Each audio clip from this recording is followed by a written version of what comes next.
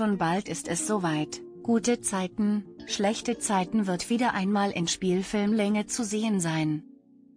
Dieses Mal wurde das Special in Paris gedreht. Jetzt verraten die SchauspielerInnen, was auf die GZSZ-Fans zukommen wird und wann die Folge im TV zu sehen ist. Gute Zeiten, schlechte Zeiten gibt es am Donnerstag, den 23. November um 19.40 Uhr bei RTL in Spielfilmlänge zu sehen. Das hat der Sender nun bekannt gegeben. Das Special spielt in Paris. Dort halten sich Emily, Anne Menten, John, Felix von Jascherow, sowie Laura, Chisanti Kawasi, auf.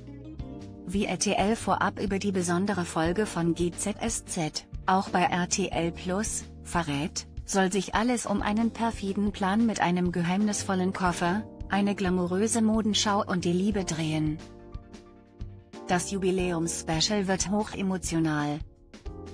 Anne Menten sagt in einer Mitteilung des Senders über den Inhalt der Folge. Emily machte gerade eine schwere Phase durch.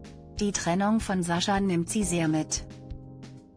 Eigentlich möchte sie hinschmeißen und den Höhepunkt ihrer bisherigen Karriere, auf den sie so lange hingearbeitet hat, absagen, eine glitzernde und glamouröse Fashion Show in Paris. Doch dann ein Neuanfang? Felix von Jascherow fügt hinzu, für seine Figur John, der von Laura auf einen Romantiktrip nach Paris eingeladen wurde, bleibe es nicht nur bei einem Liebestrip.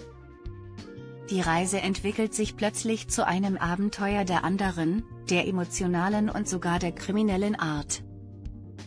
Chisanti Kawasi erklärt weiter über den Frankreich-Trip, meine Rolle hütete ein dunkles Geheimnis, von dem John nichts wusste. Auch dieses führt sie nach Paris. Die Reise ist also nicht nur der krönende Abschluss ihrer Hochzeit, sondern Laura verfolgt einen Plan, den sie in der Hauptstadt der Liebe endlich vollenden möchte, für sich selbst, für John und für ihre gemeinsame Zukunft? Das wird sich zeigen. Im vergangenen Jahr zeigte RTL auch das große Jubiläumsspecial der Serie Gute Zeiten, schlechte Zeiten in Spielfilmlänge. Jo Gerner, die Rolle von Wolfgang Barrow, stand damals im Mittelpunkt. Die tägliche Serie feierte im Mai 2022 den 30. Geburtstag.